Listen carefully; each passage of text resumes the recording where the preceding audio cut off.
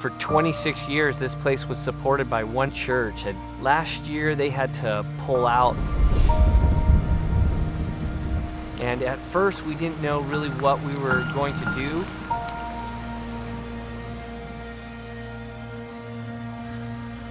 2016 marked a, a, huge year for us in the shift of not only the leadership structure here, but also the financial support system.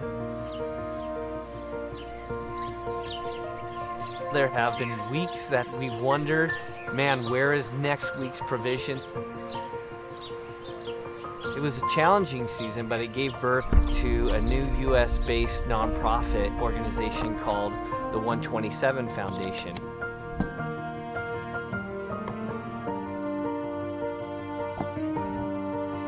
we've seen God miraculously provide in incredible ways that we never saw happen.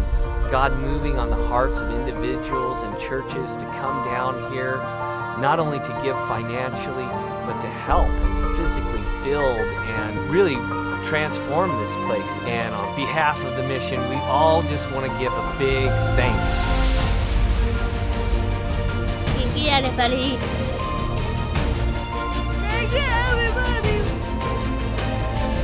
Thank you, everybody. Thank you. Thank you, everybody. Thank you.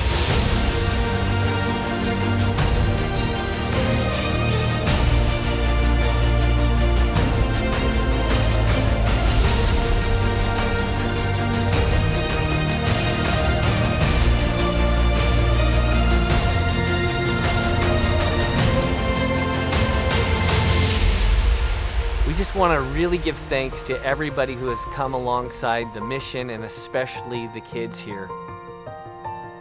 We feel like God has done abundantly above all that we could ask or think, and we're looking forward to an incredible 2017 and seeing what God is going to do.